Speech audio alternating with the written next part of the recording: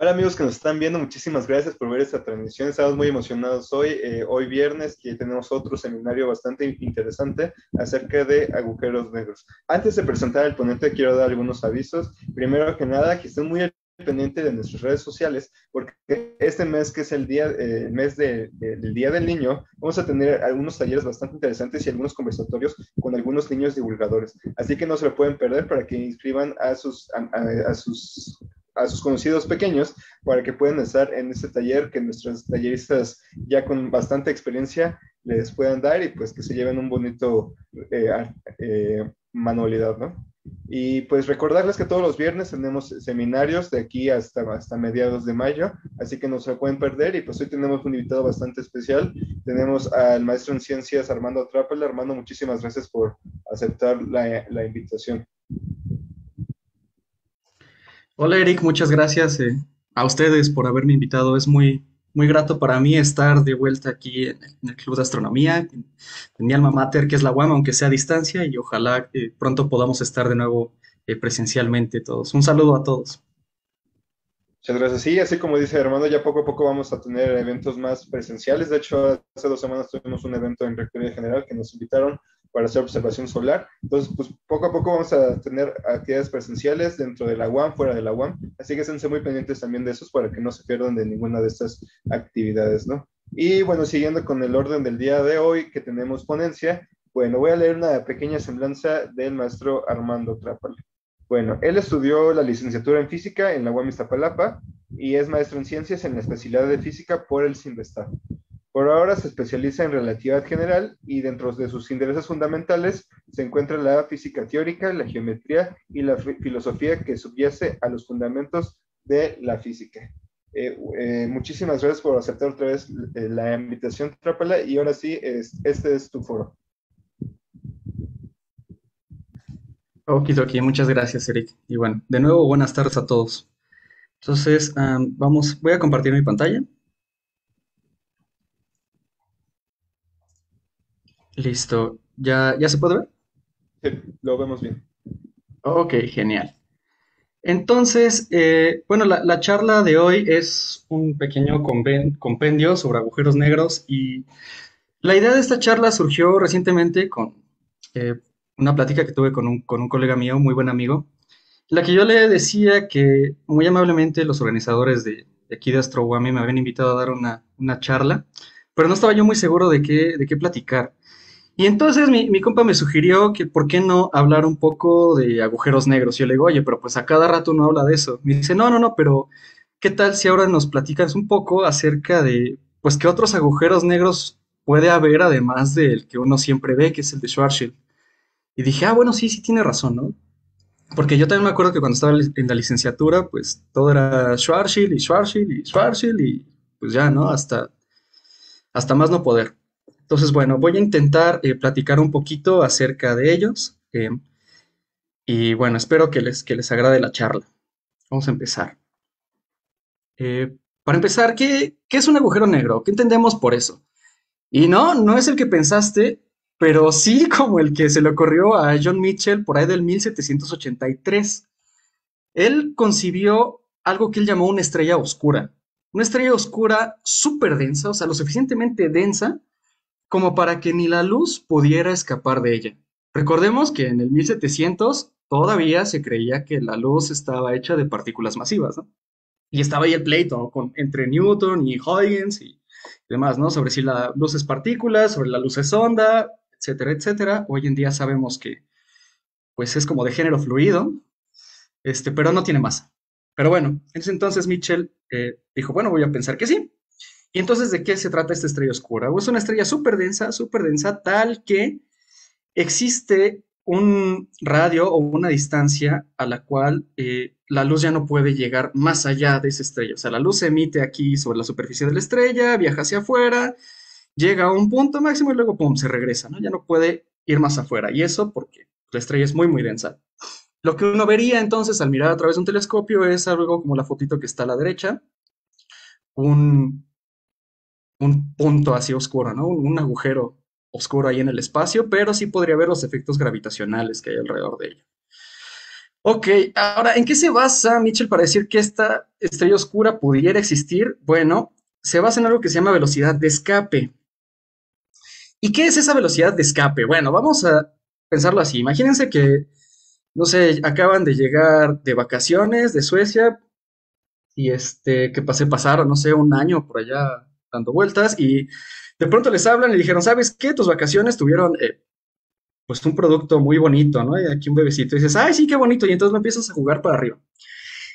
Y entonces tú lo empiezas a lanzar hacia arriba y en una de esas te preguntas, bueno, ¿qué tal si yo lo lanzara tan fuerte, pero tan fuerte para arriba que pudiera escapar del campo gravitacional de la Tierra y entonces llegar allá al hiperespacio y no pudiera regresar nunca más? ¿Cómo le haría? Ah, bueno, entonces uno puede partir de la, de la fuerza de gravedad de Newton y a partir de eso calcular la velocidad inicial con la que uno puede aventar a la criatura para arriba y lograr que escape del, campo gravitacional de la Tierra.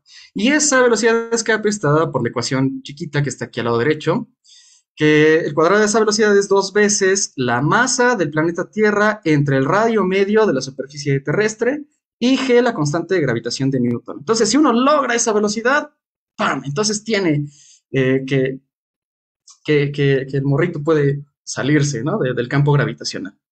Y entonces algo así, eso se sabía desde la época de, Newton, y entonces eh, Mitchell se preguntó, bueno, ¿y qué pasa si yo pienso el problema, al revés? En lugar de ver qué velocidad necesito yo para escapar, voy a poner que em, la, luz sea lo que quiere escapar y entonces la velocidad con la que va a tratar de salir de, este, de la superficie es c, la velocidad de la luz. Y entonces yo me pregunto cuál es el radio mínimo que debe tener ese planeta o una estrella para que la luz no pueda escapar de su eh, campo gravitacional. Y él lo pensaba de este modo porque, además, déjenme decirles y hacer hincapié que la velocidad de escape no depende de la masa del objeto que ustedes estén aventando arriba, a pesar de que la fuerza de gravedad sí depende de esa masita, ¿no? Esta m minúscula es la masa del objeto que ustedes mandan para arriba. Entonces Mitchell decía, bueno, yo no sé cuál es la masa de la luz o si es que tenga, pero la que sea que tenga debe cumplir con esa ley y entonces eh, pues ya, ¿no? Si una, si una estrella tiene este radio R0 que va como dos veces mg entre c cuadrada, entonces eso significa que eh, la luz no va a ser capaz de escapar de su campo gravitacional, ¿sí? Y entonces eso nos va a dar una estrella oscura.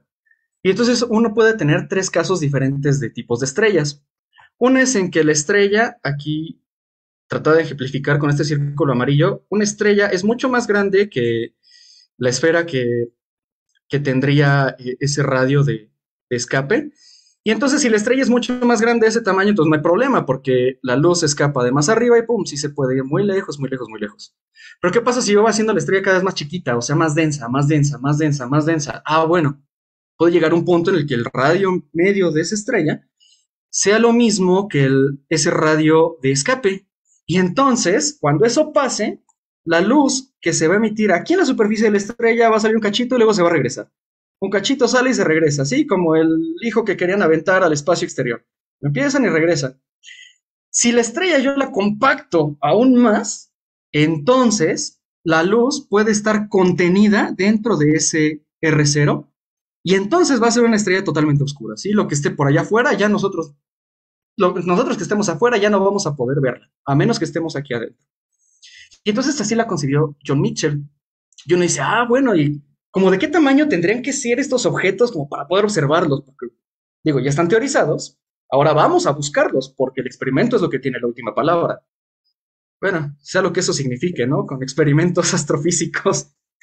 Ok, y entonces uno se pregunta, bueno, dado este radio, suponiendo que existe, ¿de qué tamaño lo tienen los astros? ¿De qué tamaño tienen que tener estos astros? Bueno, aquí hay una tablita donde uno puede consultarlos. A ver, suponiendo el, que, nosotros tengamos una masa equivalente al Sol, al Sol de nuestro sistema solar, que es eh, casi 2 por 10 a la 30 kilogramos. Ah, bueno, pues resulta que ese radio de, de, de, escape tiene que ser por ahí de los 3 kilómetros, más o menos. O sea, es más o menos la distancia que uno camina desde la UAM hasta el metro Wami intentando que no lo asalten. Como de ese tamaño tendría que ser el radio medio de una masa equivalente a la del Sol. O sea, es un radio muy pequeño comparado con la gigantesca masa, ¿no? Pero bueno, es, uno dice, quizá es posible. A lo mejor por allá afuera hay objetos súper densos. ¿Será que los podemos hacer aquí en la Tierra?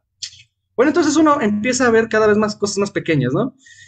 Y uno dice, bueno, a ver, planeta Tierra, una estrella con la masa de la Tierra, un objeto con el tamaño de la Tierra. Pues resulta que tendría casi 9 milímetros, o sea, un centímetro. Y dice, wow, la masa de la Tierra contenida en un milímetro, en casi un centímetro. No, pues se va a poner más difícil, ¿no? Y entonces uno se va más para abajo y se pregunta, bueno, una persona promedio, como de qué tamaño lo tiene? Entonces vamos a suponer una persona esférica en el vacío, como nos gustan los físicos, por ahí de los 70 kilogramos, ni muy flaco ni muy gordo. Y resulta que esa persona, a esa persona el radio, el radio debe medirle por ahí de 1 por 10 a la menos 25 metros. Y eso es una cosa bien chiquita. Para poner un poco en contexto, ¿qué tan chiquito es eso chiquito? Pongo aquí abajo unas comparativas que son, eh, por ejemplo, el radio de Bohr, que es el radio medio del, del átomo de hidrógeno, es 6 por 10 a la menos 11 metros. O sea, un átomo de hidrógeno sería mucho más grande que ese radio de no retorno de una persona de 70 kilos. Y uno dice, bueno, a ver, algo más chiquito todavía, el protón. El radio medio, el radio medio del protón, que es lo que pongo aquí, que es como 8 por 10 a la menos 16 metros. O sea, el radio no retorno para una masa de 70 kilogramos de una persona esférica es mucho menor todavía que un protón, ¿no? Más chiquito bueno, ya vámonos a las cosas más pequeñas que uno puede pensar en el universo. Eh, a, las personas que, están o que intentamos hacer eh, pues teorías como del todo y esas cosas, pues nos gusta pensar que la mínima longitud que uno pudiera encontrar es la longitud de Planck. Y uno dice, bueno, la longitud de Planck va entre uno, como uno y medio por 10 a la menos 35 metros. O sea, y esta longitud sí es más pequeña que el radio de no retorno, una masa de 70. Entonces dice, bueno, wow, ok, este, para una cosa de 70 kilogramos, pues igual y pudiéramos medirla en algún futuro muy lejano en el que consiguiéramos la tecnología suficiente como para medir estas longitudes. Dice, bueno, ok, pues vamos a darle chance, ¿no? A este modelo. Pues, pues, ¿sabes qué? Vino por ahí el, siglo fantástico del 1900 y nos enseñó que este problema tiene, perdón, esta teoría tiene severos problemas. Entonces, ¿sabes qué, bro? Tu modelo tiene severos problemas. El primer problema que tiene es que ahora ya sabemos que la luz no tiene masa. Entonces, como no tiene masa, no puedes usar la gravedad de Newton. Y eso es fundamental para la deducción de tu estrella oscura. Y segundo, ¿sabes qué, chavo? La gravedad de Newton hoy sabemos que es una mentira bien contada. ¿A qué me refiero con que es una mentira bien contada? Bueno, sí, reproduce bien padre muchas cosas del sistema solar, excepto el movimiento del perihelio de Mercurio. Pero ¿sabes qué? Eso no va con la relatividad especial y ya sabemos que la relatividad especial sí jala. Entonces, híjole, pues Newton, muchas gracias, está muy padre tu modelo, pero, pero no, no es, es una verdad completa. Entonces, ¿y ahora qué hacemos? ¿Se salvará o no se salvará el, el modelo de Mitchell? Bueno, ahora sabemos que sí, porque si hay agujeros negros, pero vamos a ver por qué. Y vamos a ver las distintas formas de agujero negro que uno puede tener. Ya conocimos al abuelito de estos agujeros negros, ahora vamos a conocer a la generación, eh, pues casi nueva. Ok, entonces para salvar el agujero negro de Mitchell llegan Einstein y eh, Schwarzschild al rescate. Imagínense por ahí que la cabalgata de las Valquirias de Wagner, pam, pam, pam, pam, pam, pam, pam, etc, etc.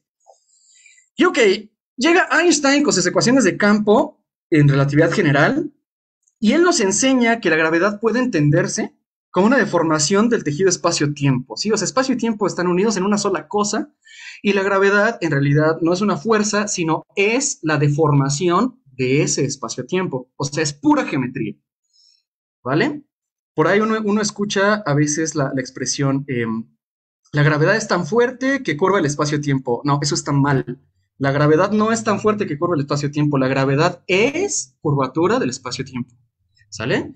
Y eso nos, lo dice Einstein aquí en sus ecuaciones de campo y nos dice, en esencia, aquí de lo izquierdo, que la geometría de tu espacio-tiempo, y esa información está contenida aquí en estos símbolos bien raros, esta R, que es el tensor de Ricci, esta G mono, que es la métrica, y esta R sin subíndices, que es el escalar de Ricci, que también va, como la curvatura de tu medio. O sea, todo esto izquierdo es geometría, y todo lo del lado derecho es pura materia y energía, ¿sí? Y eso está contenido en este tensor energía-momento. Y toda la física que nosotros le vayamos a meter a nuestro sistema está contenida de ese lado, de ese lado derecho. Entonces, izquierdo, pura geometría, que no depende de nosotros, está ahí por sí misma y en sí misma.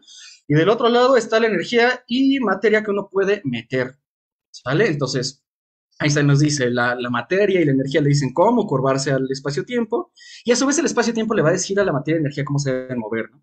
Pero bueno, en sí, estas, este chunche de ecuaciones que a veces es engorroso resolver, lo único que uno quiere es poder extraer de ahí esta cosa que se llama tensor eh, métrico. Y bueno, ¿qué es esa cosa del tensor métrico? Es un objeto, un bicho, un aparato matemático que nos dice cómo se miden las distancias en el espacio, ¿sí? O sea, imaginen que yo tengo aquí una línea, ¿sí? Y que una hormiguita puede vivir ahí sobre esa línea y la hormiguita se pregunta, bueno, ¿yo cómo voy a medir las distancias aquí, no? Si, la, si esta línea fuera totalmente recta, pues no hay problema porque las mido como me enseñó Pitágoras desde hace un montón de años. Pues ¿y qué pasa si esta curva, esa geometría ya no funciona? Entonces uno ocupa eso que se llama el tensor métrico. Entonces, para calcularlo es muy sencillo, fíjense. Uno tiene esa curva, y luego imagínense que se está metida en un espacio así más grandote, algo que llamamos espacio ambiente, y eso se puede parametrizar, que es esta phi que está aquí. Y entonces uno dice, bueno, en todo, para poder calcular las distancias yo necesito la velocidad con la que me muevo ahí, o sea, los cachitos, este vector, eh, esta flechita naranja, yo necesito ese tamaño, esa flechita, y para calcularla, pues yo necesito la velocidad, y la velocidad, pues son las derivadas. Entonces, pues le saco las derivadas respecto a algún parámetro, puede ser el tiempo. Ok, y ya con estas derivadas, entonces yo puedo calcular la distancia entre un punto y otro haciendo esta integral que está aquí. Sí, que no es más que el producto punto de la, de la derivada pues, con sí mismo, consigo mismo. O sea, que termina siendo otra vez el teorema de Pitágoras y termina siendo otra vez lo que uno aprende en geometría analítica y en geometría diferencial. No es otra cosa más que eso. ¿sí? El tensor, el tensor este métrico es eso, el producto punto entre las derivadas de esa parametrización. Ahora, lo interesante aquí y por qué trabajar con este y no con la parametrización es porque pues uno no conoce a priori la parametrización del espacio-tiempo, ¿no? O sea, yo estoy metido en él y no puedo verla desde afuera y ver si es una dona, si es este, una esfera, si es una cosa más rara. Lo único que puedo medir a lo mejor son las derivadas. Ah, bueno, por eso es que necesitamos a Einstein. Einstein nos dice, ¿sabes qué? El tensor métrico, esas cosas que tú sí pudieras ver aquí, están gobernadas por esas ecuaciones del lado izquierdo. Vale, entonces uno las agarra y dice, vamos a resolverlas. Chido. Einstein no podía resolverlas, pero Schwarzschild sí. Él estaba a la mitad de la Primera Guerra Mundial en el frente de batalla y pues como estaba medio aburrido ahí, dijo, pues bueno, en un rato de aburrimiento voy a resolver las ecuaciones de Einstein para que pues, ya haya soluciones. Entonces voy a poner el caso más sencillo porque pues o me cuido de que me peguen las balas o resuelvo este asunto. Y dice, el modelo más sencillo es el siguiente. Voy a considerar una solución que sea esféricamente simétrica, o sea, una esferita. Voy a considerar además una masa que sea puntual para no meterme en broncas de que si su densidad y cómo variaba dentro de ella, no, no, no, es puntual esta zona. Va. Además, el sistema está estático, o sea, no está girando, no se está moviendo, no, está ahí quietecita, muy tranquila en el espacio-tiempo, bla. Y además es eléctricamente neutro. Sale, entonces ya se puso ahí a resolverlo, me imagino aquí en su cuadernito, y resulta que la métrica, o sea, este, esta, en el cómo uno mide distancias, esta de S cuadrada, es este chunche que está aquí, ¿sí? Donde este primer término nos dice cómo se mide el tiempo visto desde lejos, desde un observador externo. El segundo término nos dice cómo se miden las distancias. Y el último, lo único que nos dice es que es una esfera. Eso no nos dice otra cosa. Entonces, lo primero es tiempo, distancia radial y lo siguiente es una esfera. Ok. Ahora, lo interesante de esto es que esta función FDR va como esta cantidad que está aquí, 1 menos 2 gm entre c cuadrada r. Ah, esto se ve interesante porque fíjense que esta cantidad ya la habíamos visto antes, allá con la estrella oscura. Dice, ¡órale! ¿Tú sabes qué? La solución de Schwarzschild nos va a dar un agujero negro muy similar al de John Mitchell. ¡Wow! Entonces se salva, se salvó este, este asunto. Y ahora, ¿por qué nos lo predicen? Fíjense que si yo evalúo esa FDR en el R0 de John Mitchell, entonces la parte temporal se me va a cero. La parte radial se me va al infinito y la esfera pues sigue siendo una esfera.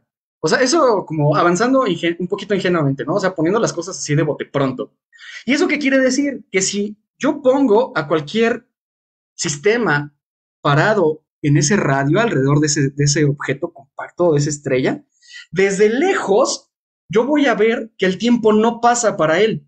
¿Sí? Yo envío a, no sé, al, al bebé sueco que ya estaba lanzando al principio, y llega allá al horizonte de eventos Y yo lo voy a ver ahí quietecito, haciendo un bebé, in secula seculorum, mientras yo me voy a hacer más y más y más anciano. Entonces, el tiempo no pasa para un observador externo visto desde allá. Primero. Y segunda, las distancias se van para infinito. O sea que si él, si yo quisiera jalarlo de allá para acá, entonces visto desde aquí, yo vería que él pues, no avanza, ¿no? O sea, un, milímetro medido desde mi posición acá en el infinito, allá se convierte en una cosa súper enorme, ¿no? De hecho, eso es lo que da lugar a esta cosa que uno llama espaguetización. Y aquí, bueno, uno trata de ejemplificarlo, ¿no? Mientras uno más se acerca a esta cosa que es el horizonte, eh, vamos a llamarle el horizonte de eventos, pues se va haciendo más, más, grande. Entonces, dos cosas aquí para este, este objeto. Primero, el tiempo se congela en R0 y segundo, la distancia radial pues, se hace infinita. Entonces, la luz ni ningún otro objeto puede escapar de lo que esté por debajo de ese radio. Y este, señores y señoritas, es el primer agujero negro de Schwarzschild. Este es el papá de los pollitos y es del que todo el mundo habla siempre. Por cierto, el término agujero negro eh, no, se, no se usaba cuando Schwarzschild lo dijo, cuando, Schwarzschild lo encontró. Por ahí entonces se le llamaba eh, colapso gravitacional. El término agujero negro se lo debemos a, a Wheeler. Ok, ¿y podemos encontrar más agujeros negros? Pues sí, pero antes de eso, eh, y para que puedan entender sus propiedades, tienen que, aprender un, tienen que aprender un par de artes oscuras, mis chavos y chavas. Imagínense por ahí de fondo la marcha imperial, ¿no? Entonces, pues, ¿qué pasa? Pues más matemáticas. Pero pues ni modo, así es esto. No podemos verlos aquí en la Tierra, no podemos agarrarlos, pues, ni modo, nos quedan las matemáticas. Por cierto, están bien chidas, pero muchos no les gustan. Entonces, lo primero que deben aprender es el sistema de unidades que uno ocupa en esta jerga, ¿sí? Y el tipo de parámetros que vamos a ocupar. Para empezar, uno va a hacer algo que llamamos geometrización de parámetros. ¿Sí? Y entonces eso es que vamos, eso significa que vamos a reescalar los parámetros de masa, momento angular J, temperatura T y carga eh, eléctrica Q, eh, con una combinación de las constantes fundamentales que son la constante de gravedad de Newton G, la velocidad de la luz C, em, la constante de Boltzmann, que es eh, esta K sub B, y la epsilon cero, que es la que va como la constante de, de Coulomb. Ok, y entonces uno va a reescalar todas las cantidades así como los estoy poniendo aquí, y como resultado lo que uno va a obtener es que ahora todas estas cantidades se van a medir como, eh, como distancias. Ajá. La masa, la carga, la J y, la, y el tiempo, a que no lo dije aquí, va a ser C por T, y el tiempo van a ser distancias. Ajá. Y la temperatura se va a medir como uno entre la distancia. Por eso es que este sistema, o este sistema de parámetros, lo llamamos geometrización de parámetros. Además de eso, eh, con estas cantidades eh, podemos construir dos parámetros adimensionales importantes, que son la relación carga-masa, que vamos a llamar X a lo largo de toda la charla, y la relación J entre M, el momento angular por unidad de masa dividido entre la masa otra vez. Em, lo vamos a llamar Y. Y adicionalmente, uno ocupa eh, algo que se llama sistema de unidades natural o sistema planquiano, en donde todas estas constantes fundamentales las mandamos a 1, paz, ya, para quitarnos de los de problemas que andar cargando que si la G, que si la C, y que cuáles son las unidades, y que si me encuentro un marciano que viene de no sé dónde, cuánto va a medir. No, nada. Estas son constantes fundamentales que en cualquier parte del universo van a valer eso y se acabó. Entonces son, y eso nos fascina a, cierta clase de físicos. Entonces, si uno hace eso, entonces puede calcular este, transformar a nuestro sistema métrico y, va a encontrar algo que se llama la longitud de Planck, la masa de Planck, el tiempo de Planck, la carga de Planck y la temperatura de Planck. Uf, mucho Planck. Y en nuestro sistema de unidades miden todo lo que está aquí a la derecha. ¿Sale? Entonces, en este sistema de unidades, con esta geometrización de parámetros, uno va a medir eh, cada una de estas cantidades como un número entero por la longitud de Planck. Vale, chido. Esa es la primera arte oscura que uno debe entender. Y la segunda son un par de definiciones. Ah, la primera definición es qué entendemos por un horizonte de eventos. Y un horizonte de eventos es una región de la cual la luz no puede escapar. Y la luz no puede escapar, según aprendimos en relativa especial, de algo que se llaman líneas nulas. Y esas líneas nulas cumplen esto que está aquí. ¿Sí? Que el producto punto, el producto interior entre los, vectores, entre los vectores normales a una superficie, sea cero. Si eso pasa, entonces es un horizonte de eventos y la luz no puede escapar de ahí. ¿sí? Háganle como quieran, pero eso no se puede. Va. Esta es, esta es una de las definiciones modernas que uno ocupa de agujero negro. Va. Muy bien, y eso me va a llevar a la existencia de un radio, que aquí pongo E sub H, de horizonte de eventos, en inglés Event Horizon. Y entonces, bueno, esta es la definición de horizonte de eventos. Ok. Y además de esta superficie que va a ser el horizonte de eventos, existe algo que se llama superficie de infinito, de infinito corrimiento al rojo, que es una superficie, a pronto, sobre la cual el tiempo para un observador lejano se congela. ¿Sí? En el, en el agujero negro de Schwarzschild, estas dos cosas son lo mismo, pero en general no necesariamente tienen que ser iguales, ¿sí? Pueden ser diferentes. Y de hecho, cuando son diferentes, eh, se obtiene una tercera zona que se llama ergósfera. La ergósfera se llama así porque uno en principio podría extraer energía de ahí a través de algo que se llama el mecanismo de Penrose. Penrose, por cierto, aquí al lado izquierdo, muy contento, muy feliz, sosteniendo su premio Nobel. Miren nomás qué guapo se ve el Penrose.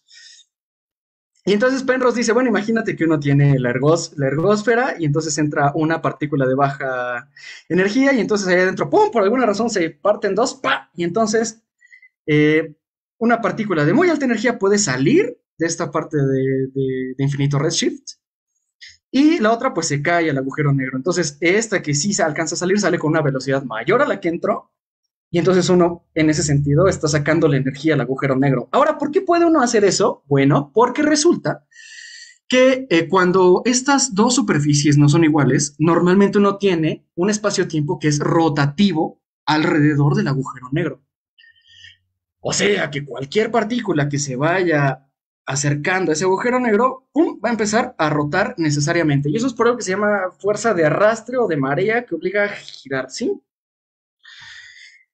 Ajá. Entonces, incluso si, si originalmente la, órbita era contraria a la rotación que pudiera tenerse de ese espacio-tiempo, se va a obligar a la partícula que se, ponga en tono con la, con la rotación del espacio-tiempo debida eh, o alrededor de esa, de esa.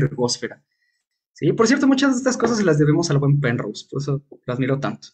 Ok, esa es otra de las cosas. Ya vimos que hay un horizonte de eventos, ya vimos que hay una zona de infinito redshift o corrimiento al rojo. Y otra parte oscura que deben entender o que deben saber es que los agujeros negros son calientes. Seguramente eso ya lo sabían, pero bueno, ahora les voy a platicar por qué. O bueno, al menos un poquito. Eso se lo debemos a algo que se llama radiación de Hawking. Sí, y para entender qué onda, qué está pasando aquí, pues bueno, tengo aquí esta, esta pequeña imagen. Entonces Hawking dijo, bueno, imagínense, a ver, vamos a suponer que yo tengo ahí un agujero negro y aquí está el horizonte de eventos. Y luego voy a pensar que en el espacio vacío puede aplicarse a lo que llamamos teoría cuántica de campos. Y esos campos cuánticos pueden estar fluctuando de tal forma que eventualmente, espontáneamente, porque se le ocurre al espacio-tiempo, no sé por qué, pero se le ocurre, de la nada, ¡pum! Se aparecen dos partículas, ¿no? Una partícula y una antipartícula. Eso pasa, por cierto, ¿eh? no es chairada, sí pasa.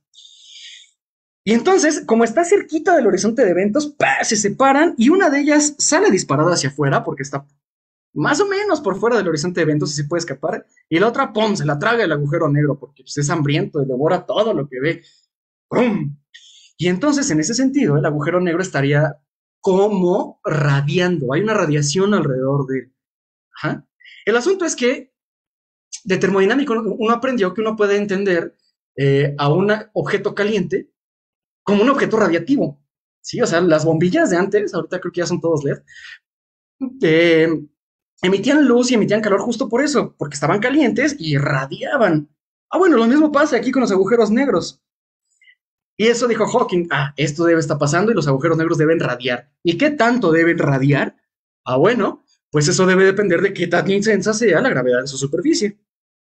Y entonces la temperatura que uno le puede asociar al agujero negro va como algo que se llama gravedad superficial. Sí, ahora vamos a ver qué, carajo es eso la gravedad superficial. Bueno, lo primero que les tengo que decir es que eh, de las ecuaciones de Einstein, otra vez, uno puede calcular la aceleración que tendría una masita así puntual, muy chiquita. Y esa aceleración está dado por algo que se llama ecuación geodésica, que es este monstruo bien enfermo que pues, uno está poniendo aquí. Bueno, no está tan enfermo, ¿no? Sabes la segunda derivada de las coordenadas y eso va como la geometría de, tu espacio-tiempo, ¿no? Y eso está metido aquí en esta gama, que son los, este, los símbolos de Christoffel. Ok, si esta es la aceleración, pero la aceleración como cuatro vector, uno quiere más bien la magnitud, entonces dice, bueno, pues le voy a sacar el producto punto, que es lo, lo que uno siempre hace para ver magnitudes. Tengo vectores, le saco su magnitud. Y para sacar su magnitud, pues el producto punto. Y eso es lo que está aquí, donde está la aceleración. Ok. Y obvio, el producto punto entre la aceleración consigo misma, el cuadrado de su norma o el cuadrado de su magnitud, y pues hay que sacarle raíz cuadrada. Ok, bueno, esa es la, la aceleración que uno ve es parado ahí, en el horizonte, o cerquita. Pero uno no está ahí parado midiendo la temperatura, ¿no? Uno o sea, el agujero sí es negro, pero uno no puede acercarse mucho a él. Entonces, uno lo está viendo desde el infinito y entonces lo que hay que hacer es ver cómo cambia eh, eh, la dilatación temporal, ¿no? O sea, ¿cómo, ve un observador lejano esa aceleración? Ah, bueno, eso es muy sencillo y se calcula eh, de este modo. Uno, uno tiene la aceleración, vista ahí en el punto donde quiere, multiplicado por la entrada totalmente temporal del, tensor métrico. Acuérdense, el tensor métrico nos dice cómo medir las cosas. Por eso hay que multiplicarlo por esa GTT. Ok, entonces uno lo hace así y evalúa esta cantidad en el horizonte de eventos y ¡pum! Encuentra algo que se llama gravedad superficial. Algo interesante es que, aunque normalmente esta A aquí en el horizonte se va casi infinito, eh, pues resulta que este factor de redshift o el GTT se va cada vez más a cero y entonces esta cantidad sería como un cero entre infinito, pero cuando uno hace límite, esto sí es una cantidad eh, finita. Eso uno lo aprende haciendo la reglita de L'Hopital y esas cosas. Ok, entonces, bueno, volviendo al punto, eh, esta, es, esta, es, ya la, gravedad superficial. Eh, y entonces dice Hawking, desde aquí su silla de ruedas nos dijo que la gravedad superficial va como la temperatura, y entonces la temperatura es esto que está aquí. Sí, la gravedad superficial entre 2pi. Acuérdense, esta es la temperatura geométrica, ¿eh? la que va como distancias. Para tener la temperatura en el Sistema Internacional de Unidades hay que multiplicar por las constantes fundamentales que les dije al principio. Ok, entonces ya tenemos ahí que existe el horizonte de eventos, existe la ergósfera, existe la superficie de infinito redshift o SEER, y ya vimos que los agujeros negros pueden ser calientes. Ok. Entonces, solamente nos falta un una, arte oscura más que debemos entender para empezar a construir ya la familia de agujeros negros que queremos saber. Y es algo que se llama teorema, entre paréntesis conjetura, ahorita les digo por qué, que a mí me gusta llamarle del pelón, conjetura del pelón, o no pelo, como se le dice eh, normalmente en inglés, no hair theorem.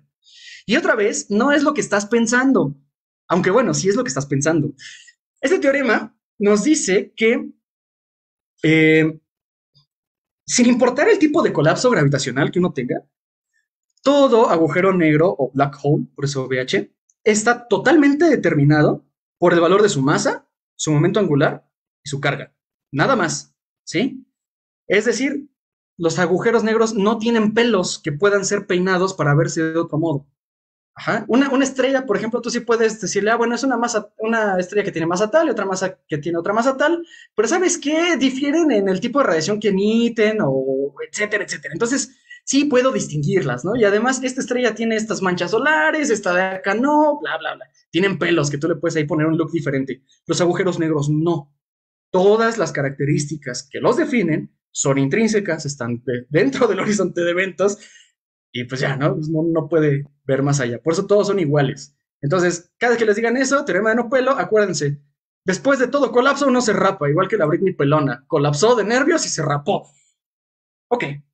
Ah, y les decía que esta eh, conjetura, porque bueno, uno dice esto es cierto, pero en la parte clásica, ¿no? Cuando uno piensa nada más se encarga más hay momento, pero ¿qué pasa si uno tiene grados de libertad más altos, por ejemplo, en física de altas energías o grados de libertad supersimétricos y esas cosas, ¿no? Teorías locas que, no sé, les gusta hacer a los lingeras que andan por ahí vagando en las universidades.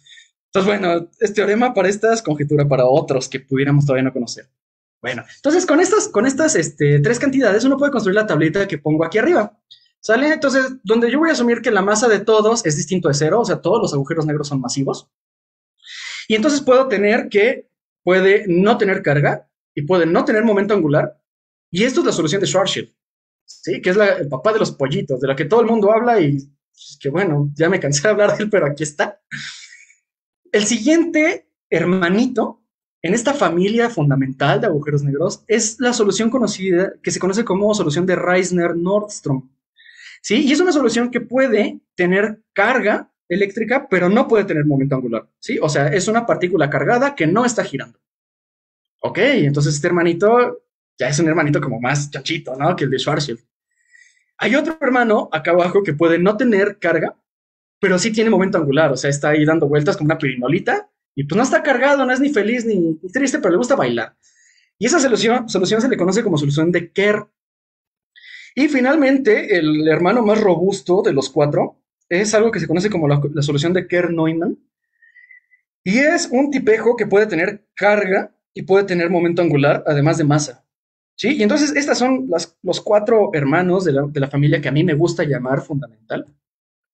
Y está bien padre porque estos cuatro pueden resolverse de manera exacta eh, eh, eh, a partir de las, de las ecuaciones de Einstein. Entonces, bueno, vamos, vamos a ver entonces qué onda con cada uno de ellos. Entonces, la primera, otra vez, la solución de Schwarzschild, nada más para recordar. ¿Sí? Recordemos, la métrica de, la, de Schwarzschild es esta que está aquí, donde esta f de r va como 1 menos 2 veces la masa de nuestro agujero negro entre r.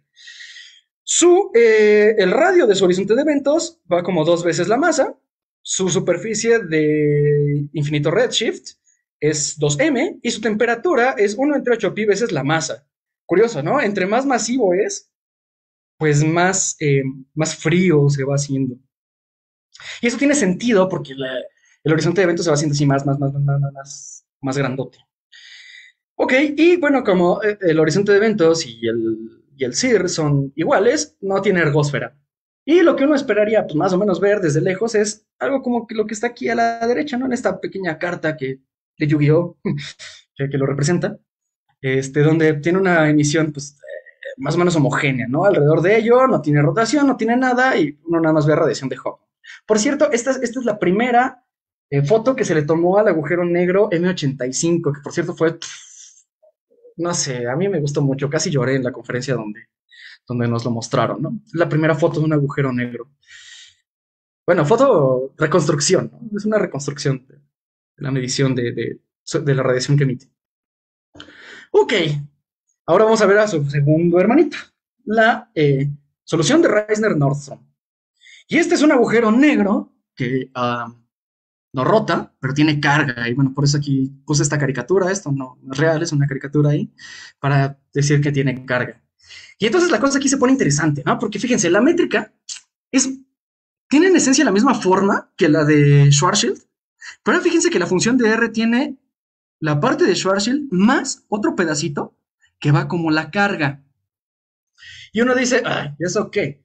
Pero no, resulta que sí tiene, eh, sí tiene consecuencias interesantes. Em, la primera es que el radio del horizonte de eventos y del redshift, a pesar de seguir siendo iguales, se mueven respecto a la de Schwarzschild. ¿Sí? O sea, ya no es igualito, se mueve y la cantidad por la que se mueve es esta x cuadrada, que acuérdense es la, la razón entre carga y masa. ¿sale? Segundo, la temperatura también se va a mover em, en términos de este factorcito, que es la raíz cuadrada de 1 menos x cuadrada. ¡Wow! Bueno, primera cosa interesante. La segunda parte interesante es que ahora tiene características especiales. Em, y esas características especiales son, bueno, no tiene ergósfera, eso no, lo desechamos.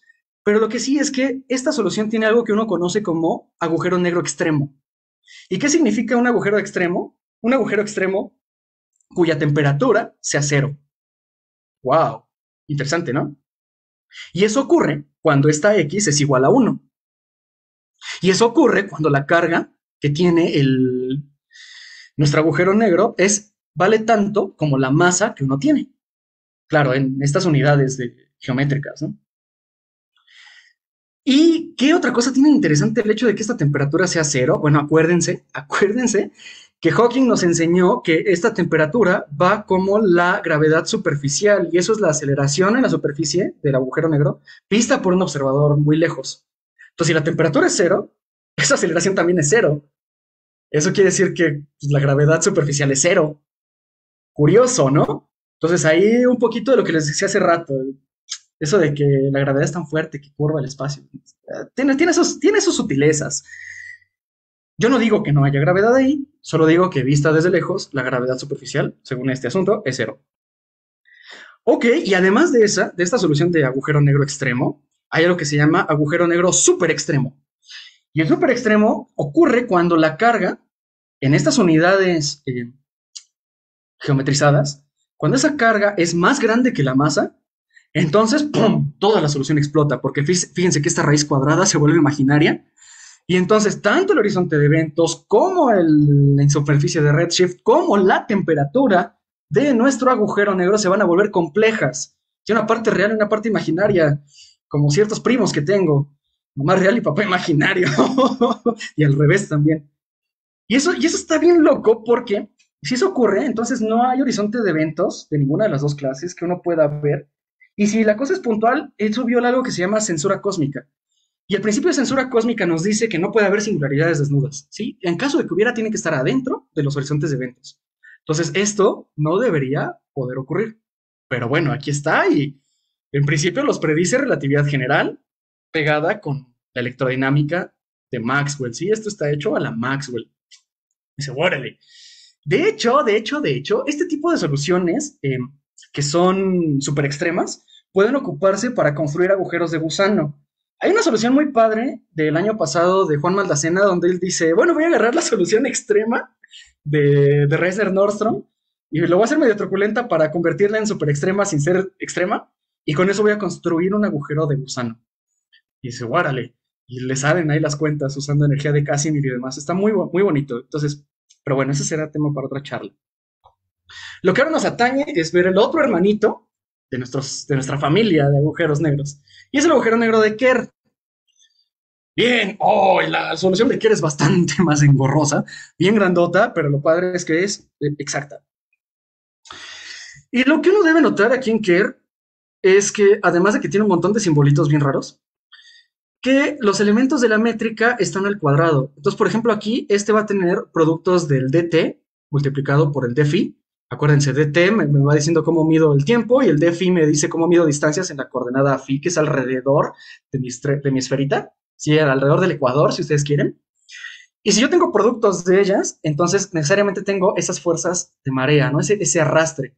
Ahí es donde uno ve esa rotación del espacio-tiempo. Y por eso es que cualquier partícula que yo ponga ahí cerquita, pues se va a jalar por esa fuerza de marea, ¿sí? Los tengo aquí y los tengo acá también, ¿sí? Pero no, pero no lo tengo aquí en la parte R, ¿sí? En la parte radial eso no pasa. Ok, cool. Y uno dice, bueno, y entonces ya que tengo esta métrica, ya me estoy bien, bien emocionado y quiero preguntarme qué horizonte de eventos tiene, cuál es su superficie de redshift y cuál es la temperatura que tiene. Y eso es lo que está aquí, en estas ecuaciones bien raras.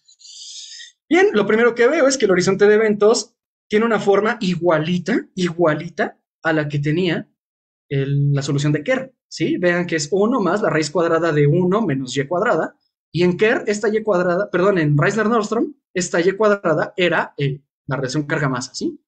Aquí está X, en Kerr está la Y. Ok, entonces, eh, ya irán viendo, ¿no? Que este, también vamos a tener soluciones extremas, pero bueno, ahorita voy a eso.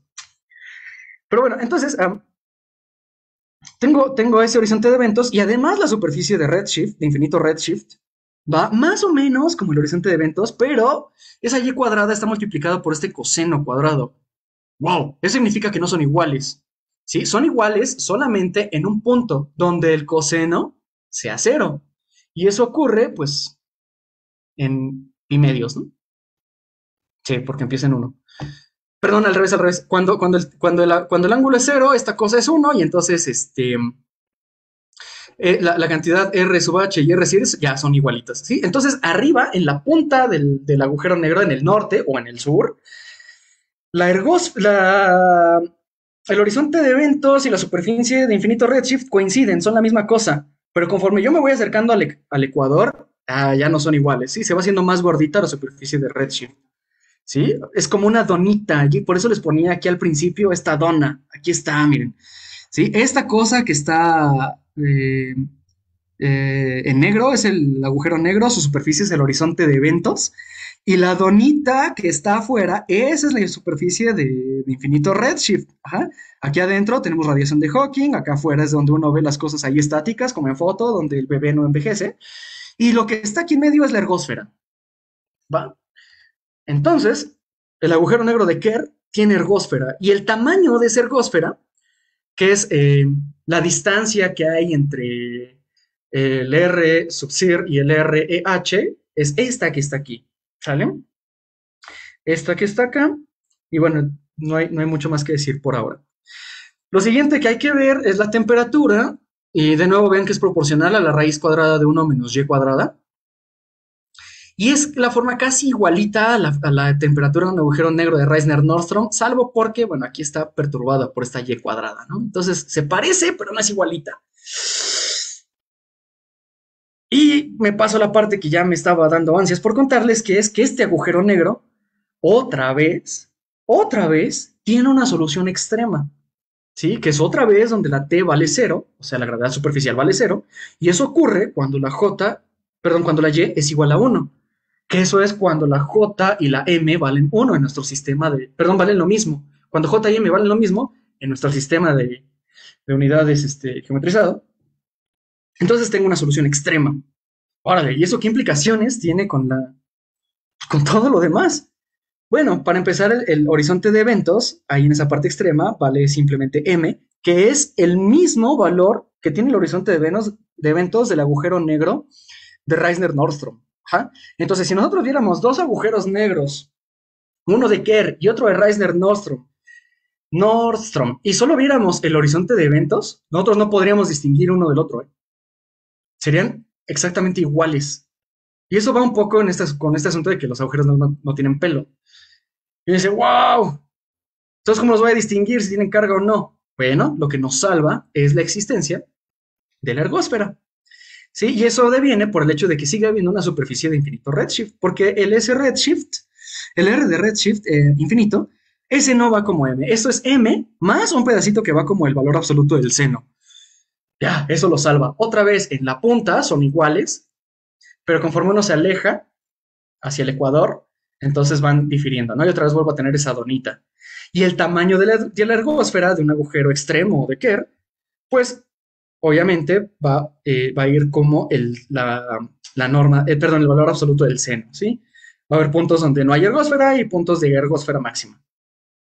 Ok, y además también uno puede construir soluciones súper extremas, ¿no? Porque uno puede decir, bueno, ¿qué tal si yo le pongo una J mucho más grande que la M?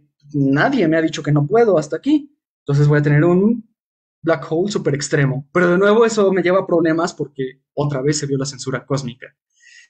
Y a lo lejos, lo que uno vería de un agujero negro de Kerr, por cierto, es esta foto aquí toda hermosa que tengo aquí a la derecha, que es la siguiente foto que le tomaron al agujero negro de M85, donde uno, ya puede ver el arrastre de las partículas alrededor. Aquí ya uno tiene más definición y entonces uno puede decir, ¿sabes qué? M85 no es un agujero negro de Schwarzschild, sino lo más seguro es que sea de Kerr. Tiene que ser de Kerr. Y bueno, estaría chido, eso está chido porque sabemos que casi todas las cosas ahí en el universo pues se están moviendo. Estaría raro que no rotara, ¿no? Entonces, esta es una foto, esta sí es reconstrucción de la foto real, ¿no? Del agujero negro en 85. Ok, el siguiente, Kerr Neumann, que es ahora juntar Reisner Nordstrom con Kerr. Bien, otra vez la cosa es espantosa, otra vez la métrica tiene la misma forma que Kerr, pero ahora difieren en esta cantidad que se llama delta, ¿sí? Esta cantidad delta aquí en... Eh, algo, algo bonito es que en Kerr es eh, como la métrica de Schwarzschild más la parte en J. Y cuando uno lo pone Neumann, es eh, esa misma que, que, tenemos en Kerr, más la parte del campo, eh, perdón, de la carga eléctrica que uno ya había visto en, en, Reisner-Nordstrom. Entonces, realmente la métrica es igualita, salvo por este cambio. Ahora, ¿qué consecuencias tiene ese cambio? Bueno, obviamente se nos va a mover el horizonte de eventos aquí a la izquierda y también se nos va a mover la superficie de infinito redshift. ¿Qué tanto se nos va a desplazar? Ah, bueno, pues estas cantidades que está aquí. Eh, ahora en lugar de restarle la y en Kerr o en lugar de restarle la x en Reisner-Nordstrom, pues le voy a restar las dos. Y eso es Kerr-Neumann para el horizonte de eventos. Y para la temperatura, pues casi igual. Eh, perdón, para el, el, de redshift, pues igual, en lugar de restarle solamente la x o solamente el y coseno cuadrado, pues le resto las dos. Y la temperatura ocurre igualito. ¿Sí? Entonces ahora todo esto es proporcional a esta cantidad x cuadrada más y cuadrada. ¿Qué es lo que uno pues más o menos esperaría, ¿no? Si ya, si ya sé que la temperatura iba como la raíz de 1 menos x cuadrada en Reisner-Nordstrom y ya sé que la temperatura iba como la raíz de 1 más y cuadrada en Kerr, pues como que lo más obvio es que debería ir como pues, de esta suma, ¿no? Bueno, eso uno lo dice cuando ya ve la solución. A priori sí está medio canijo saberlo. Pero bueno, eh, este agujero negro, otra vez, tiene ergósfera, porque el horizonte de eventos no es lo mismo que el, que, el infinito redshift, y ese tamaño ha estado por aquí. ¿Sí? De nuevo, otra vez esto va a ser como una dona, pero va a ser una dona pues, un poquito más grande o más chiquita, dependiendo de los valores que ustedes pongan, que el de, que el de Kerr. ¿Sí? Y otra vez tenemos soluciones extremas. Y esa solución extrema viene cuando x cuadrada más y cuadrada es igual a 1. O sea, la relación carga masa al cuadrado más la, relación j entre j y la masa al cuadrado, eh, la suma de esos dos cuadrados sea 1. Y entonces, mientras en Kerr y en Reisner-Nordstrom teníamos una sola condición para tener agujeros negros extremos, aquí tenemos una infinidad, un infinito de agujeros negros extremos. ¿Cuál es toda esa infinidad? Ah, bueno, pues todas aquellas soluciones que caigan sobre la esfera unitaria de este espacio de parámetros, ¿sí? Perdón, sobre la esfera, eh, circunferencia. Sobre todo la esfera... Eh, eh, no, espérame, sí, ya me estoy confundiendo, ya necesito más café. ajá, sobre, sobre todo, perdón, sí, sobre todo esta, esta, esta, circunferencia, ¿sí? X cuadrada más Y cuadrada igual a 1. ¿Sí? Con esta es la ecuación de un, de un circulito. Y esta cantidad, pues, es infinita, ¿no? O sea, yo puedo tener, tengo tantas soluciones como puntos tengo ahí. Entonces, toda esta, toda esta condición me va, me va a llevar a un agujero negro extremo. ¡Pum! Y en ese agujero negro extremo, otra vez, tengo un horizonte de eventos que es igualito al de Reisner-Nordstrom, igualito que el de Kerr. Y bueno, Kerr-Neumann, igual, el horizonte de eventos. La ergósfera, aquí si se dan cuenta, em, no es tan igualita. Acá en, en Kerr depende solamente de la masa, pero en Kerr-Neumann ahora también va a depender de, en esencia, del momento angular. O sea, la, ergósfera sí cambia.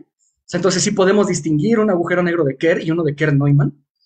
Y el tamaño de la ergósfera también, pues va obviamente a cambiar, ¿no? Y, como les decía hace ratito, em, si tenemos soluciones extremas, seguramente también vamos a tener soluciones súper extremas, ¿no? Y eso es cuando nos salimos de, esa de, ese, anillito de soluciones y otra vez vamos a violar censura cósmica. ¡Wow! Y bueno, estas son las cuatro, eh, los cuatro integrantes de esa familia fundamental de agujeros negros que normalmente uno no platica, pero que están ahí. De nuevo, esta de la derecha es una caricatura, ¿no? Que intenta hacer las veces de un agujero de Kerr, pero ahora tiene carga, por eso las chispas ahí. Pero es una caricatura. Ok, ahora, ¿estos black holes pueden tener primos cercanos? Y la respuesta es que sí. O sea, la que les conté es la familia fundamental, pero uno puede tener primo, puede tener primos cercanos, Y eso depende del tipo de teoría que uno le acople a la relatividad general. Como les contaba yo hace ratito, la solución de Reisner-Nordstrom dice, uno la consigue cuando dice, bueno, voy a agarrar Einstein y le voy a pegar eh, la electrodinámica de Maxwell, ¿no? Que es la que uno usa siempre. Pero uno se pregunta, bueno, ¿y qué tal si no uso la, electrodinámica de Maxwell, sino una más general, una que sea no lineal? Una que sí me pueda predecir cositas a nivel cuántico.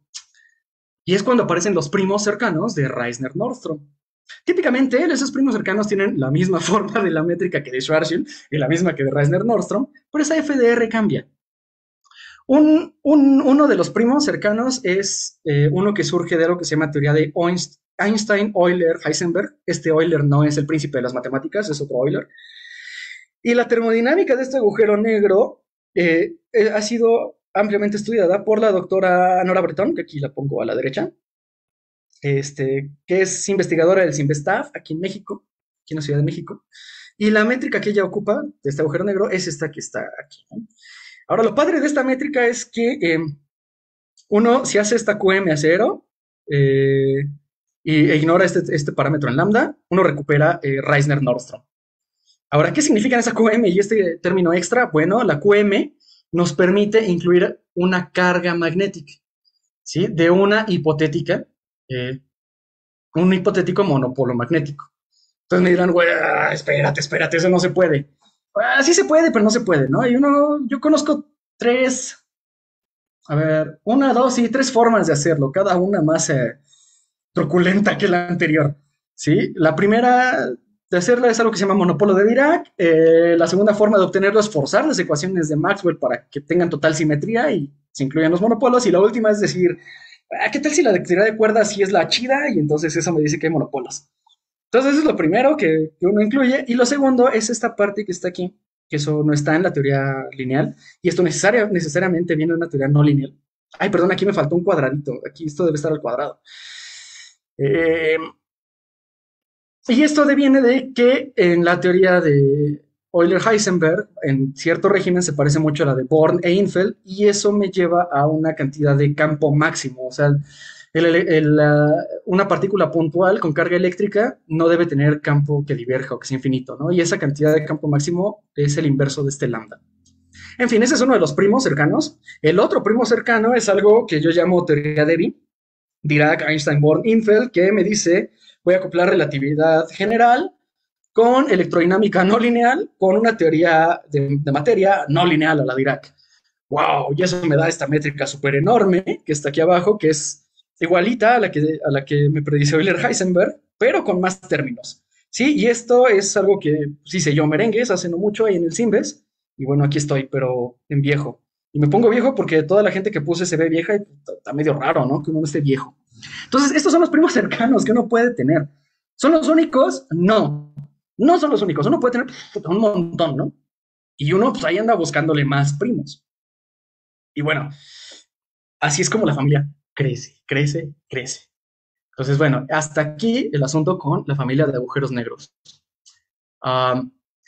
si me regalan unos cinco minutos más de su tiempo, aquí en principio ya se acabó la familia y el Ah, y el compendio, pero si me permiten cinco minutos les voy a dar un pequeño ancor.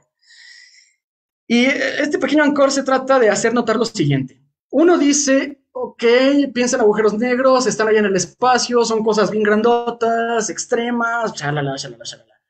Pero eso en ninguna parte de la, la relatividad general dice que tenga que ser así.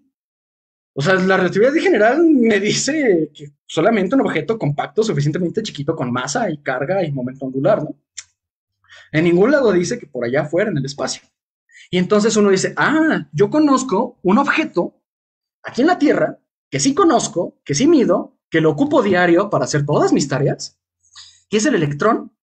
Y este objeto sí tiene esas características que me da esta, eh, toda esta teoría de agujeros negros, ¿no? Porque tiene carga. Sabemos que tiene carga, sino porque nos dan toques las cosas. Sabemos que tiene masa y sabemos que tiene momento angular, porque pues, tiene ahí el spin, ¿no? Y es una cosa fascinante porque mientras más lo medimos, más puntual es esa cosa. Y además, todavía por si fuera poco, estudiar el electrón llevó a Lorentz a formular las transformaciones de Lorentz, que son las transformaciones que uno ocupa en relatividad especial, que son las que después Einstein dijo, ah, como que esto me puede servir, ¿no? Y funcionó, entonces el electrón tiene ahí la relatividad metida, la relatividad especial al menos. Por cierto, también eh, para el electrón uno quiere construir entonces la, ecuación de Dirac y entonces, ¡pum!, surge el spin, ¿no? El, el, spin. Entonces, entonces es una partícula muy bonita. Entonces uno, otra vez un poco ingenuamente, eh, dice, bueno, pues vamos a aplicarle todo esto que ya sé, todo esto, al electrón.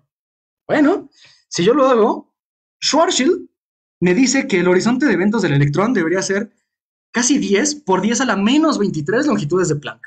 Oh, oh, ahí hay un problema porque es una cosa más chiquita de lo que uno pudiera eh, esperar en, cuántica. O sea, la longitud de Planck, uno, quiere pensar que son las cosas más pequeñas que puede haber, y 10 a la menos 23, más chiquito que la longitud de Planck, wow. Entonces, como que hay algo raro, ¿no? Si lo quieren en metros, es 10 a las menos 58 metros. Entonces, ahí truena.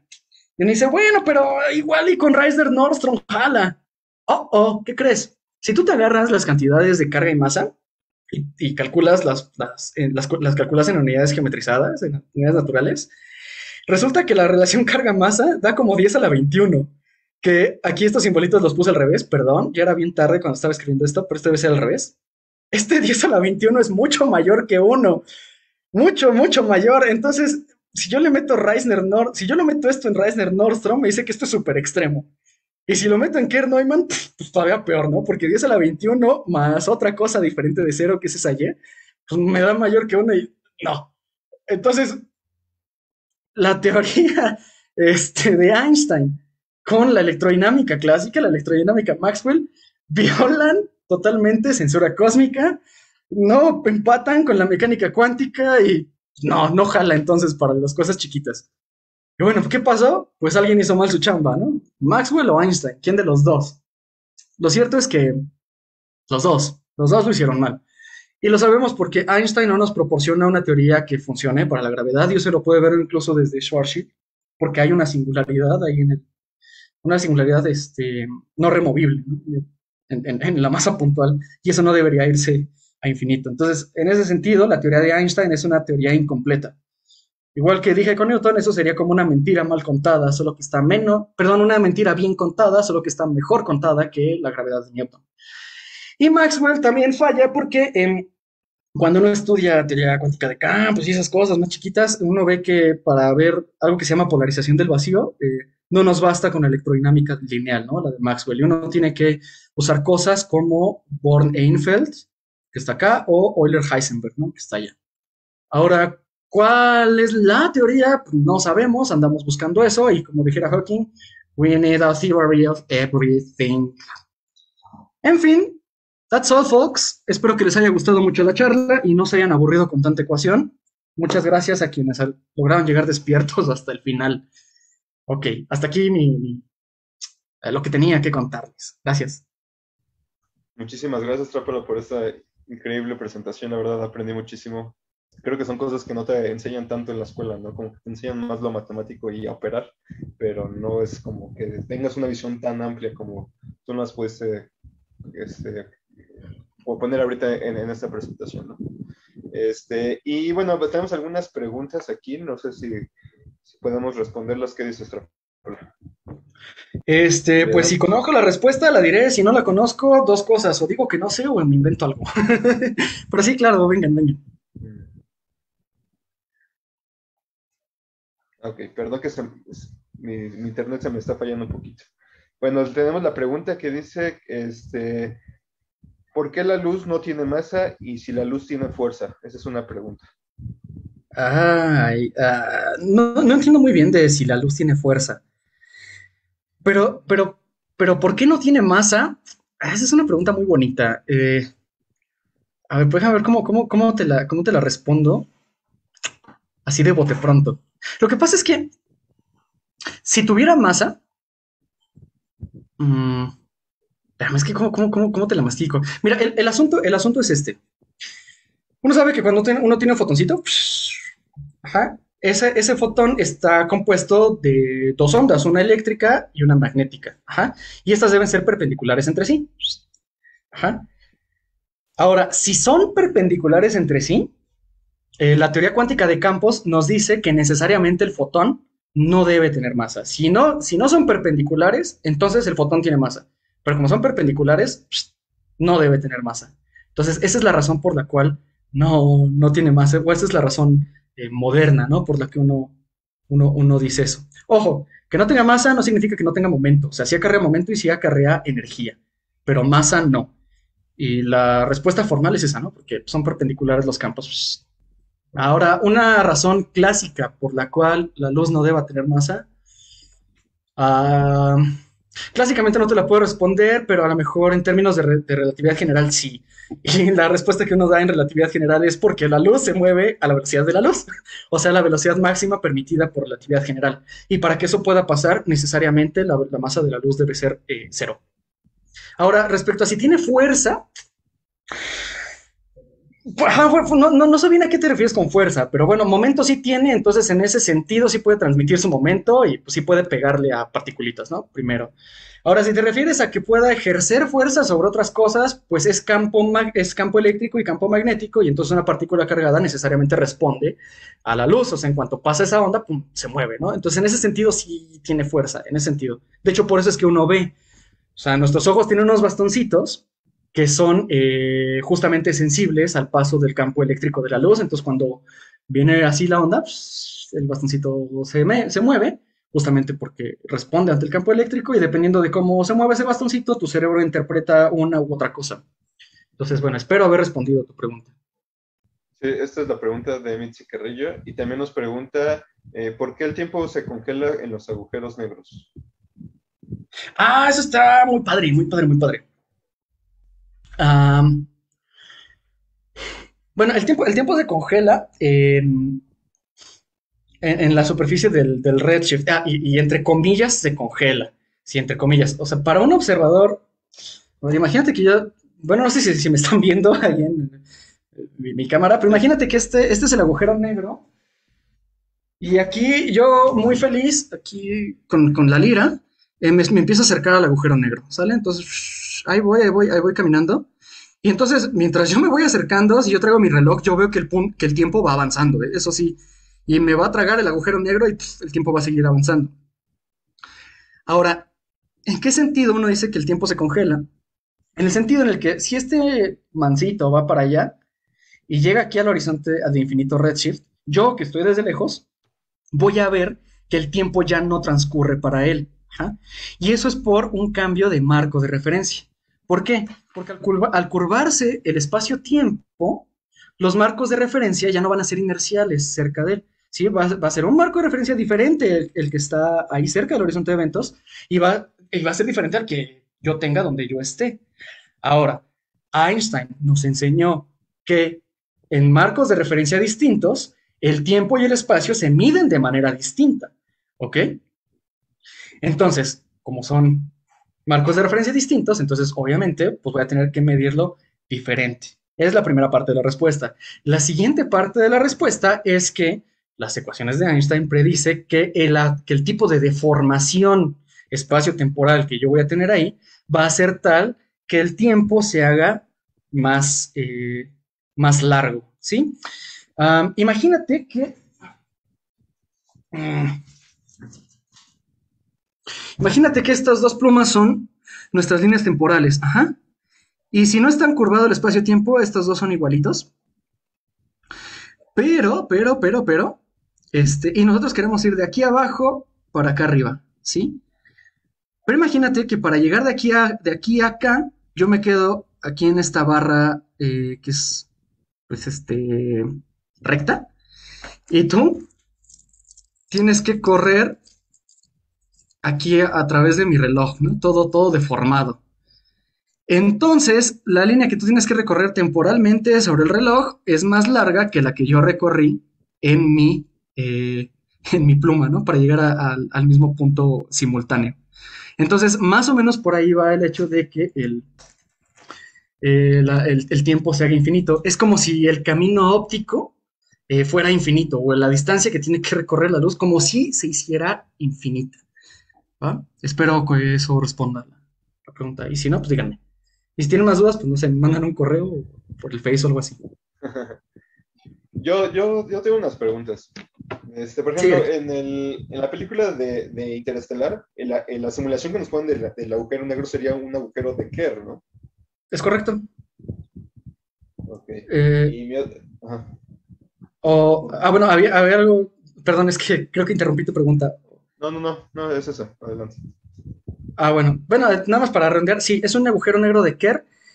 Y lo que uno ve ahí en Gargantúa, que es hermoso, de hecho es lo que, lo que estaba aquí al principio de mi, mi presentación. Déjame compartir eh, otra vez. Así nomás. Creo que todos usamos esa, eh, la, la, imagen que tú pusiste cuando decimos agujero negro, que todos ponemos eso, ¿no? sí, no, es que es, es, bueno, es icónica, a mí me encanta y además, este, pues sí se hizo con una simulación real y... Um, oye, ¿sí se ve mi pantalla? Se, se, ve negro, estamos en fin de la presentación. Um, a ver, espérame, déjame ver si puedo compartir, más bien... A ver, esta. Aquí, ahí está, ahí se ve el PowerPoint, ¿no? Eh, entonces, sí, mira, lo, que uno, lo que uno ve aquí es eh, esta parte como planita, que es como un anillo, a eso se le conoce como disco de acreción. Y ese anillo de acreción se forma justamente por esta fuerza de marea o este acarreo de espacio-tiempo, que uno tiende a orbitar alrededor de eso, y se vuelve eh, inhomogénea justamente por la inhomogeneidad de la, de la, ergósfera. Y lo que uno ve acá arriba, fuera, fuera del, fuera, de este disco de acreción es radiación de Hawking. Entonces es, eh, esto de aquí es radiación de Hawking y esto de aquí es disco de, acreción. Y sí, así es como uno sabe que eso es un agujero negro de, Kerr. Ya, perdón. Eh, nada más para completar lo que me preguntabas. No, sí, sí, e, era eso y mi siguiente pregunta era, de eso, si todos los, los, agujeros negros tienen disco de, acreción o solo los que tienen un momento angular. Eh, mm, no, no necesariamente. Mira, em, lo que pasa es que si tú tienes un, agujero negro, no pienses en un agujero negro, un, objeto, un objeto masivo, el que sea, necesariamente va a haber cosas este, orbitando alrededor de él. Ajá. Entonces, sí es posible que tú tengas algo como un disco de acreción, como, como un disco de acreción, este, para un agujero negro de, de Schwarzschild, por ejemplo, ¿no? Que sería como responder por qué Saturno tiene anillos. O sea, Saturno tiene anillos que uno puede pensar como si fueran un disco de acreción, este, como si no es, ¿eh? Eh, y bueno, se forman, ¿no? Ahí por, por las condiciones iniciales en las que se acercaron las partículas. Entonces, en ese sentido, uno podría ver en un agujero negro de Schwarzschild cosas que están orbitando ahí alrededor y orbitando a velocidades increíbles y empezar a radiar, y entonces vería algo parecido a un, un, disco de acreción. Ahora, pero solamente en un agujero negro rotativo veríamos justamente lo que está ahí en Gargantúa, que es cómo la radiación de Hawking se empieza a jalar hacia un disco de acreción, y no solo eso, sino que además de estar orbitando ahí ese disco, el agujero negro se está devorando, se está tragando la, materia. ¿Sí? Por eso es que uno ve eh, eh, hace ratito las como, como franjas, como en espiral que mostré en la, en la foto de M85, ¿sí? esos como pelitos que estaban dándole vuelta. No sé si eso responde a tu pregunta. Sí, entonces, por ejemplo, los agujeros negros de, los primeros que dijiste de Schwarzschild, solo sería el ente ahí existiendo. O sea, no, no habría nada más. Sí, sí, exactamente. Sí, o sea, tienes ahí tu, esfera negra que está emitiendo radiación, nada más. Y está emitiendo radiación por el vacío, ¿eh? no, no, por otras cosas. Y si tú otra vez lanzaras al, al man ahí, este, al agujero negro, caería en línea recta hacia él, ¿sí? Siguiendo el radio. No orbitaría el, eh, bueno, depende, o sea, si lo mandas con una velocidad este, inicial que tenga una componente perpendicular, pues sí, no, sí orbita, pero si parte desde el reposo, no, se cae directamente. Eso sí es de Schwarzschild. Si es de Kerr, entonces aunque parta del reposo, va a venir caminando en línea recta y eventualmente va a empezar a orbitarlo. Si parte del reposo, lo va a orbitar a fuerzas, eso es a forción.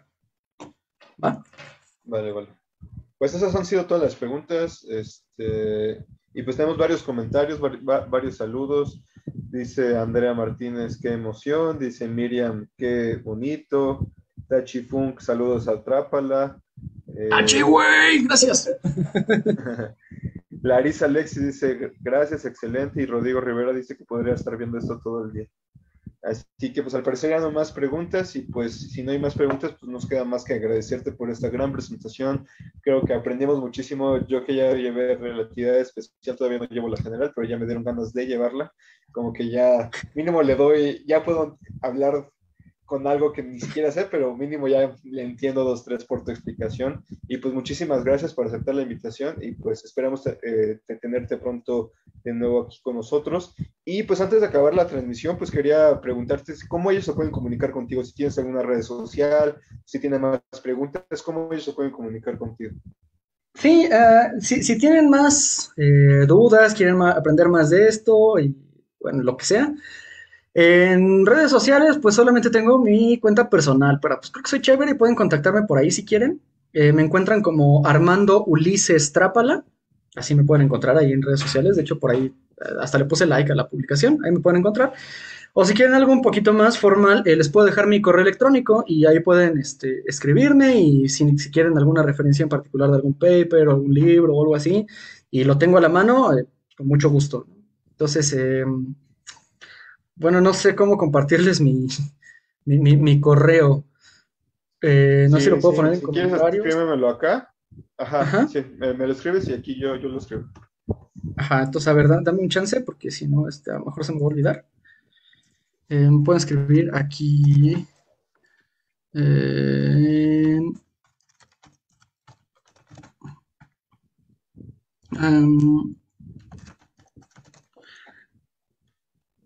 Ok, ahí está. Y pues con mucho gusto, si está a la mano lo que puedo hacer por ustedes, pues aquí, aquí ando. Vale, pues aquí ya, ya pasamos a este, en el chat tu, tu correo y pues ya cualquier cosa, pues ahí hay que se comuniquen contigo. Y pues personalmente pues quiero felicitarte por, por ay, ¿sí, me escuchas? Sí, sí te escucho. Ah, perdón. Este, no, felicitarte porque te acabas de acabar la, maestría y pues es un logro bastante importante y pues gracias a esa publicación del, del Simvestab es que decidí invitarte y pues muchas gracias por aceptar la invitación. No, pues muchas gracias a ti y a todo el equipo de Astrowami por invitarme. Insisto, yo siempre muy contento de estar aquí con ustedes. Muchas gracias también a todos los que escuchan la plática y a sus palabras de, afecto y emoción. Entonces espero nos veamos pronto aquí y un fuerte abrazo a todos. Muchísimas gracias. Este, vamos a tener ponencias los siguientes viernes, así que no se lo pueden perder. Y repito la invitación que les había dicho. Eh, por el Día del Niño vamos a tener algunos talleres para que puedan inscribir a sus conocidos. Así que estén muy pendientes de nuestras redes sociales. Nos encuentran en todos lados como Astrowami, en Facebook, Instagram, YouTube. Y ya tenemos TikTok para que nos sigan por ahí. Y este, pues cualquier cosa estamos ahí pendientes. Muchísimas gracias y nos vemos en la próxima.